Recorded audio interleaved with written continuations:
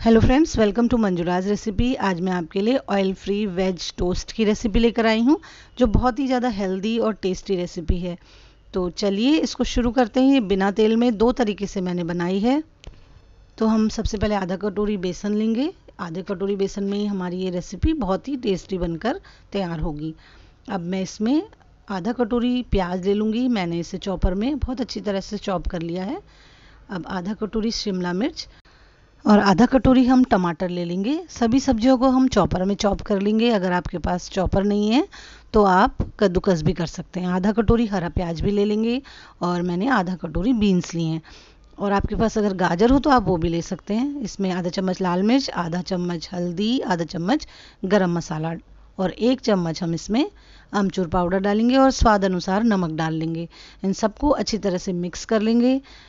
आप जो भी आपके पास सब्ज़ियाँ हों, आप इसमें डाल सकते हैं। अब हम इसमें पानी मिलाकर एक घोल तैयार करेंगे। इस बैटर को हम बहुत ज़्यादा गाढ़ा भी नहीं रखेंगे और बहुत पतला भी नहीं करेंगे और इसको फिर हम पाँच मिनट के लिए ढककर रख देंगे ताकि जो हमारे सारे मसाले और बेसन है, सब्जियों में अच्छी तरह से मिक्स हो जाए।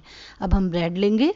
मैंने ये ब्राउन ब्रेड ली है। आपके पास अगर वाइट हो या मल्टीग्रेन, कोई भी ब्रेड ले लीजिए और उसमें इसको भिगो के, ज़्यादा देर छोड़ना नहीं है भिगो के डुबोना है और तवे में हल्का सा तेल डाल के गरम करके तवा उसमें ब्रेड रख देनी है। ऐसे ही मैं दो ब्रेड रख लूँगी और इन्हें अच्छी तरह से हल्की आँच में दोनों तरफ़ थोड़ा थोड़ा तेल लगा करके हम इसे सेक लेंगे।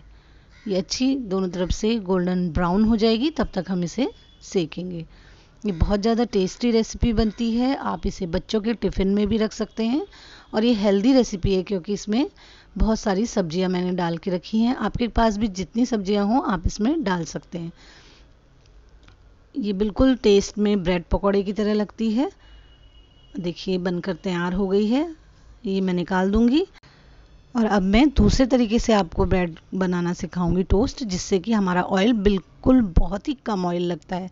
मैंने एयर फ्रायर को प्रीहीट कर लिया है और उसमें एक बटर पेपर में थोड़ा सा तेल लगा करके हम उसको ब्रश से फैला देंगे। एयर फ्रायर में बहुत ही कम तेल में बहुत ज़्यादा टेस्टी खाना बनकर तैयार होता है। अब जो ब्रेड है, मैं बेसन में लगा के सब्जियों में कोट करके इसे एयर फ्रायर के अंदर रख दूँगी। जितने भी एक बार में आएँगे उतने डाल के और बस हल्का सा ऑयल ऊपर से ब्रश से लगा देंगे। अब इसको एयर फ्रायर में डालेंगे और इसको आ, 200 डिग्री में हम 10 मिनट के लिए छोड़ देंगे। तो 10 मिनट में ये हमारे बनकर तैयार हो जाते हैं और टेस्ट में बिल्कुल बहुत बढ़िया बनते हैं। बिल्कुल ये नहीं लगता कि इसमें ऑयल नहीं है। ये हेल्दी है। पाँच मिनट में हम इसको बीच में से खोलकर इसे हम पलट देंगे ताकि ये दोनों तरफ़ से अच्छी तरह से सिक जाए। और अब देखिए, दस मिनट हो गए हैं और इसका कलर देखिए, बिल्कुल ब्रेड के जो हमारे टोस्ट हैं, वो बिल्कुल बनकर तैयार हो गए हैं और अच्छी तरह से पक गए हैं अंदर तक। ऑयली ब्रेड पकौड़े के जगह पर ये एक बहुत ही हेल्दी ऑप्शन है। इसका टेस्ट भी बहुत बढ़िया आता है और ऑयल इसमें बिल्कुल ही नहीं है। आप इसे अपने पसंद से कट कीजिए, या बच्चों के टिफ़िन में रखिए, या चाय के साथ इसे सर्व कीजिए। जैसे भी आपको पसंद हो, आप वैसे खाइए। और अब मैं आपको दिखाऊँगी, ये देखिए मैंने पहले एयर फ्रायर वाले रखे थे ब्रेड के टोस्ट और अब ये मैंने जो तवे में सेके थे, वो रखे हैं। तो ये दोनों के दोनों बन चुके हैं। आप इसे लाल चटनी, हरी चटनी या फिर सॉस के साथ सर्व कीजिए। बच्चों को ये बहुत ज़्यादा पसंद आएँगे और ये बहुत ज़्यादा हेल्दी रेसिपी है। ऑयल इसमें बस थोड़ा सा लगा है, लेकिन टेस्ट बहुत बढ़िया है।